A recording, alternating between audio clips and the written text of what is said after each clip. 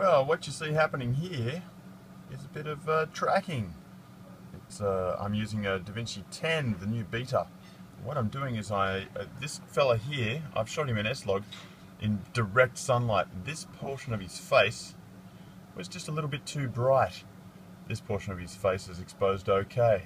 So what I'm doing is I'm tracking his uh, head movement and camera movement to make sure I can pull down the brightness on just this portion of his face.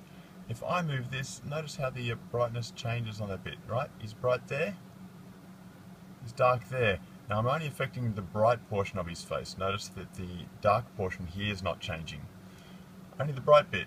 So all I'm doing is just making a little power window that's pulling that brightness down so it evens up a little bit.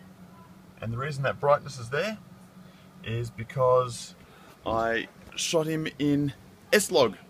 Um, so the data's there. S-Log, of course, uh, squishing a whole bunch of uh, dynamic range into a uh, small uh, bit of color space and exposure space. It's a bit like shooting a film negative, so it looks kind of washed out. You shouldn't be using it as a final, but it means that the data's there for the color grade. There's a tip. Oh, and uh, Blackmagic's um, DaVinci 10 Lite is free. Software to do this is free. There are heaps of instructionals on YouTube. That's just a little uh, technique I'm using today just to fast track this stuff. It's always nice when you, make, when you can make your pictures look nice, eh?